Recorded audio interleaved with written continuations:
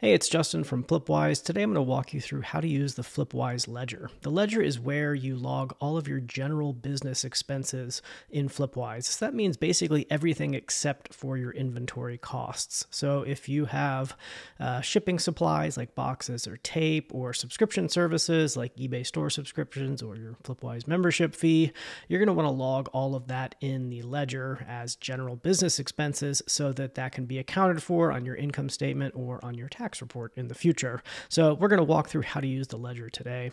We're looking right now at the Flipwise dashboard. To get to the ledger, you're going to click ledger in the left-hand navigation, and you'll land on this screen here, which is the list of all of my existing ledger entries. I'll walk through what each of these things mean here.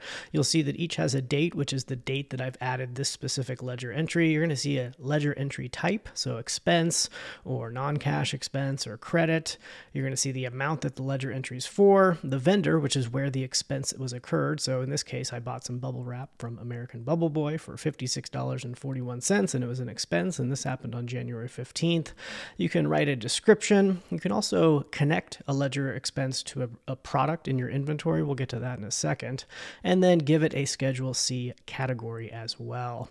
So the way that you add new ledger entries is right here on top. You'll have a green button, and this pops up a modal like this asking if you're adding a general business expense or credit or if you're logging mileage for a business trip. So you can use this both for adding general business expenses as well as logging mileage.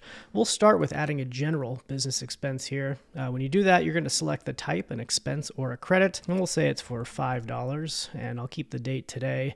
Now it's going to give you a list of Schedule C categories like this. This comes directly from the IRS. This is optional. So if what you're adding to the ledger doesn't fit into one of these categories specifically, that's okay. You don't have to give it a category or you could give it the category of other.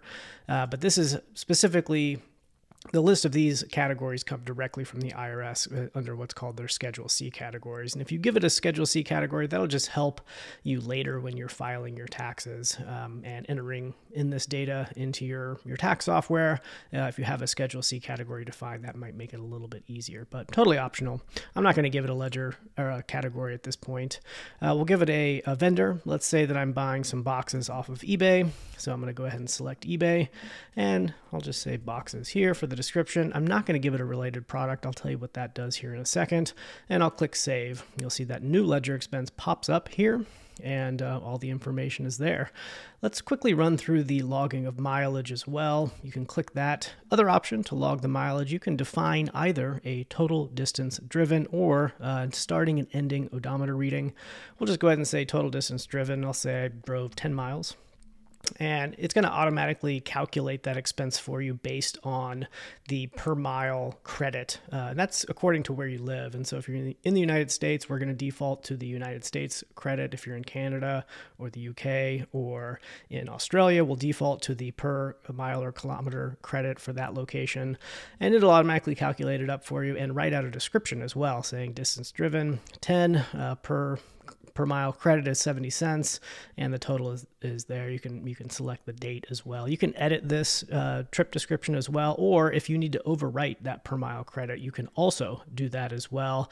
That's if in some countries the per mile credit changes depending on how many miles you log. So we're going to leave it the same for now and just go ahead and add it.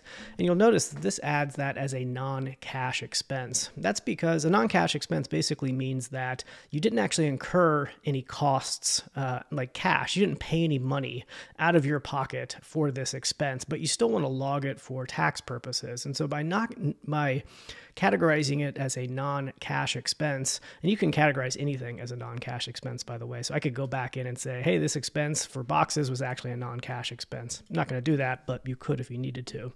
But by marking it as non-cash, what that's going to do is it's not it's going to make sure that that expense does not show up on your income statement, but it does show up on your tax report. And so just to talk a little bit about that, uh, Flipwise has an income statement which shows all of your revenue for any time period. And so this is all the revenue coming in and all the expenses going out. If I added a non cash expense like that mileage, it's not going to show up on this income statement because I didn't actually spend that money, but it is going to show up on the tax report here if I click into this tax report. Uh, because that mileage, I want that mileage logged for tax reasons, but again, I didn't pay for it, so it shouldn't show up on the on the income statement.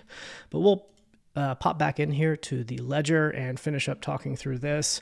You can filter up here by expense, credit, or non-cash expense. You can see here, that's pretty obvious how that works. Um, I'll just put it back to all here. You'll notice some of these expenses and credits have this little icon here with a lightning bolt. That means we've automatically ingested this from eBay. And so this eBay, this fee right here for $27.95, that's my eBay store subscription fee.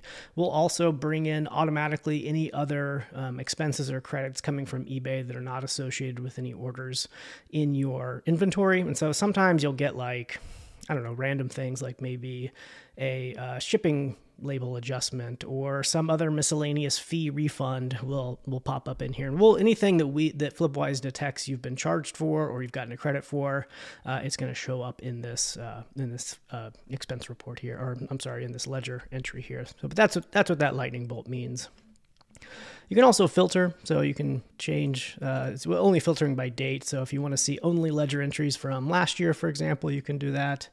Uh, and then you can also export. And this will just email you a CSV, a comma separated value file uh, that you can open up in spreadsheet software if you need to. So I'm not going to do that right now, but you can do that at any point.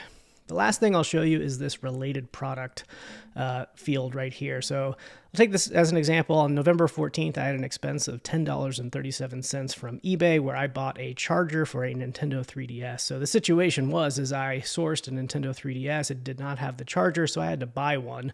I went on eBay and I bought it for $10.37 and I went ahead and associated that charge, that ledger entry with that Nintendo 3DS in my inventory. And you'll see right here, I'll click on that.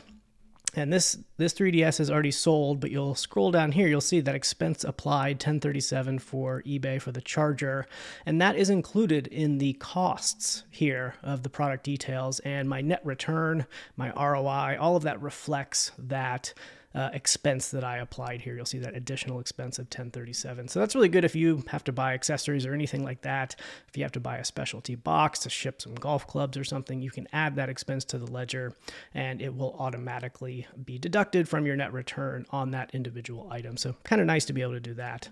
And that's that's the ledger. That's basically how you use it. Oh, last thing is search. You can also just search. I could just search for a box, for example, and see any of the boxes that I bought over the last year. So I think that's it. That's how you use the ledger or so. Hopefully, this is helpful. Thank you.